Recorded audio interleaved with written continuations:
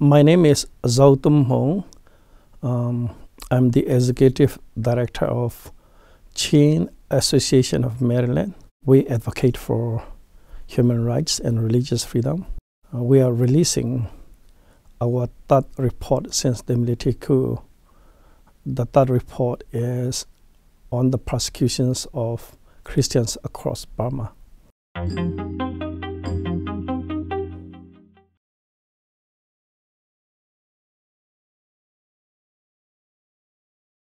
After the 2021 coup, the Burmese military, also known as the Tatmadaw, intensified atrocities against the Christian minority across Burma.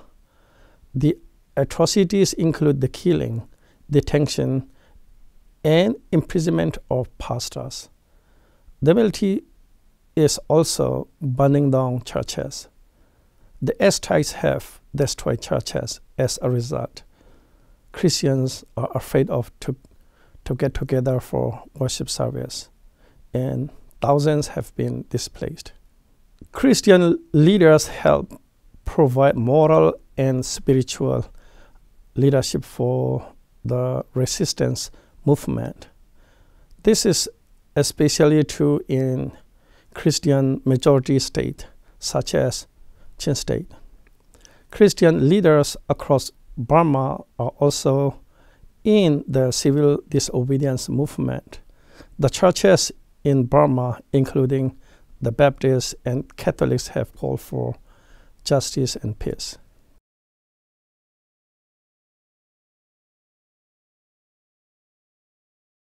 India had uh, a mixed response to the coup.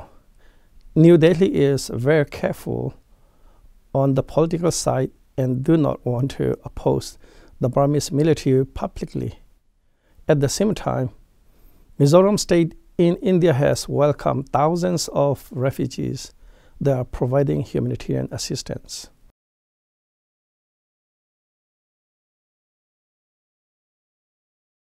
The United States should engage more with Burma's neighboring countries, particularly India and Thailand. Together, they can provide cross border humanitarian assistance and support the refugees. To protect religious minority, especially Christians, we ask the United States to determine that the atrocities against Christians constitute war crimes and crimes against humanity this is the first step towards accountability. The administration also should implement the Burma Act, especially sanctions on Myanmar oil and gas enterprise. And the, the administration also should do more to stop the air attacks uh, on the civilians.